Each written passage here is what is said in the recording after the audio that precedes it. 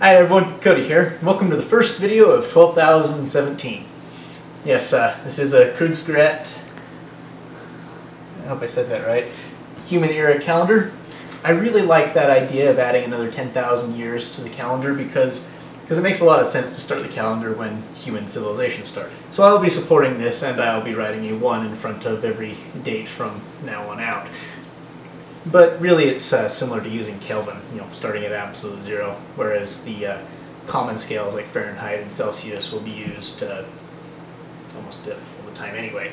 If you don't know what I'm talking about, there will be a link down in the description so you can go watch this video. I'd highly recommend it. So anyway, I wanted to make this video, as this is my first video of the year, uh, saying uh, about what I plan to do in the next year. So I've got a little list of things here to talk about, you know, a few projects that I want to get done, uh, some series that I have planned, uh, maybe changes to my upload schedule, and uh, subscriber specials. So let's actually start there. My million subscribers is coming up very soon, and uh, I really don't know what I'm going to do for it. Uh, I have a few things planned. Uh, I was thinking maybe I'll make my own play button again. Uh, I will be getting a gold play button, but I mean, maybe not. And so I decided I'll, I'll make my own, and then if YouTube never sends me the gold one, then big deal. And uh, as it happens, a fan from Greece actually sent me a substantial quantity of cesium chloride here. And I was looking at this and I'm like, you know, I could make a play button out of that. So that, that's definitely one thing I want to maybe try. Maybe have the most deadly play button.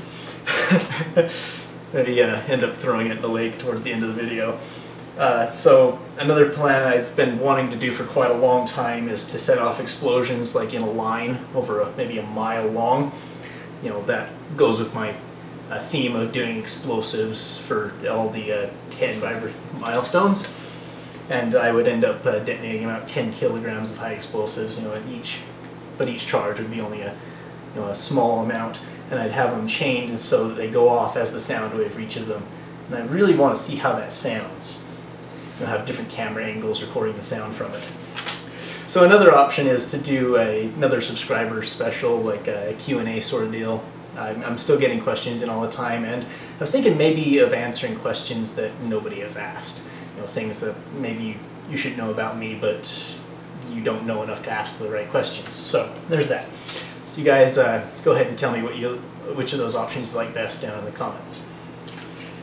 Uh, going back to my uh, upload schedule, YouTube has made it so they favor long, regular uploads which is not really something I've been doing. I've been trying to like increase the frequency of videos lately, but they're all disjointed and people might come see a video and it's a one-off thing and that's all they ever see of me, which is really a problem because like my hydrogen generator video series, the video of me actually using it to cut through steel and producing water by burning it, that got millions of views, whereas the one that actually showed me making it automated and uh, compressing the gas and everything, which I think is the, the better of the videos, got maybe 20,000 views. So there's, there's kind of a difference there. And I'd really like for people to have seen all of it. So I'm going to have to like uh, put the videos together even either in a numbered sequence so people know kind of to start and then watch through the videos in order or perhaps just put the videos all together and make like a single video showing the highlights, or doing both, which is kind of what I'm leaning towards doing. Like I'll have uh, regular uploads, uh, doing projects, like if I'm uh, working on something and it, it, doesn't turn out, you know, I get delayed by a day, like what happened here with the Stirling engine, then I would just say, all right, well, I'm going to end the video there, we'll pick it up again tomorrow, and uh, let's try to get done then you know, that sort of thing. I would get more videos and ultimately wait the same amount of time for the, you know, for the full result. And then perhaps uh, later I would make a video showing the highlights and then post that and that one could go viral, whatever, and then the subscribers would have seen the process along the way. So tell me what you guys think about that as well. Uh, so the mining series, a lot of people have been asking that. Apparently a lot of my subscribers have came over just because of the mining series. And so I will be continuing that.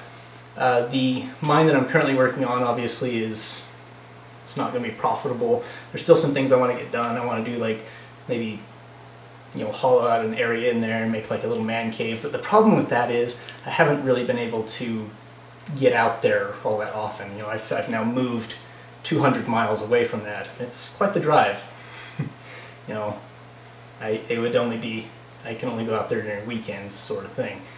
So perhaps maybe I'll do a different mining series, like a maybe like a season two or whatever, and uh, start a mine a little bit closer here. Maybe I'll file another mining claim, sort of thing, and just have something a little closer.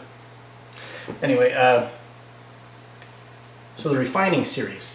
Uh, people have been sending me all kinds of stuff for that. I got uh, more gold teeth here, some iron sand from the beaches of California, uh, some really nice gold crystals, which I, I don't really want to melt down, but I guess I, I guess I will.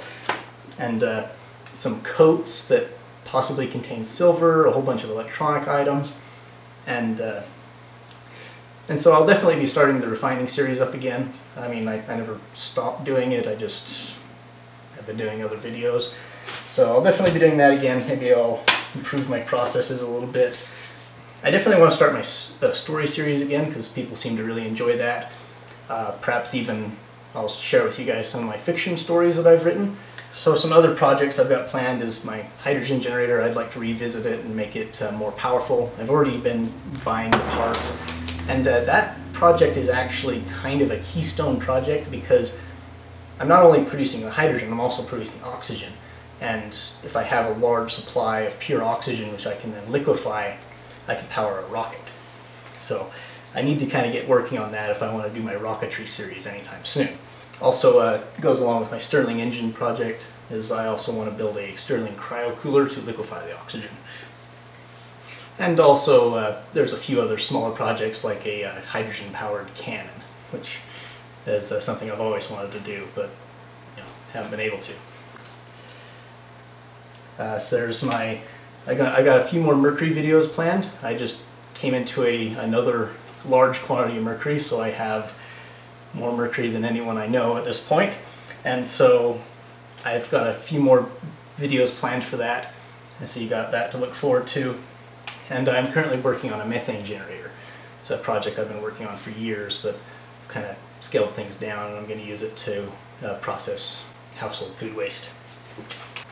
I also have some rubidium chloride now, so now I can make all of the alkali metals, which is something I've always wanted to do, uh, with exclusions to francium obviously because it's kind of hard to produce any more than a few atoms of that at a time. Another fan actually sent me some glucose which has uh, been enriched in carbon 13 which I think is really cool because this is definitely going in my sugar collection but also does it taste different? The heavy water tasted different. Would heavy sugar taste different? And I'll make a video and find out. Behind me I have a tank with some shrimp in it I have plans to use those guys in a aquaponic system because uh, I think they're superior to fish because they'll actually eat the leaves and stems of plants that uh, you know, I won't eat. I don't have to buy fish food for them. And uh, along those lines, these fish here are actually the same fish that I used in my aquaponic system from a couple of years ago. I also want to do some like more really big projects like a fusion reactor or maybe even do some things that are like uh, more publicly funded and uh, maybe even get some more organizations involved, such as my uh, satellite takedown idea, which I think is actually feasible. I've got some uh, nerds crunching the numbers for me, and uh, if they come out with a favorable result, I'll make a video on that as well. And uh, perhaps I'll even start a Kickstarter. You know, down the satellite. yeah, the Evansat satellite. That thing's got to come down. It, it, it's really a problem. What's the Evansat satellite? Uh, it was, it's actually, would be pronounced better as uh, ENVISAT, but it's an environmental observation satellite uh, launched by the European Space Agency. It's about the size of a bus and it's tumbling out of control in a very bad orbit because it crosses every other orbit around the Earth and it's high enough that that thing's not going to decay on its own for hundreds of years. And if it collides with another satellite, which it comes very close to on a daily basis, it could cause a, Kessler, a chain reaction, Kessler syndrome, and knock down other satellites. And that's just one satellite that I think could benefit from this uh, project I've got planned. So that's all I had on my list. Let me know if you guys had any other ideas, if you have any New Year's resolutions you want to share in the comments. Hope you all enjoyed. I'll see you next time. I definitely need to mention though that uh, the things I've said that I plan to do may or may not happen. I mean, I'm still working on that video where I said I was going to make liquid hydrogen within the summer, and here I am two years later. I still want to do it, but uh, liquefying hydrogen turns out to be rather difficult. but uh, yeah, I definitely fully intend to do these things right now. I might do other things, might not do these things. You know how it is.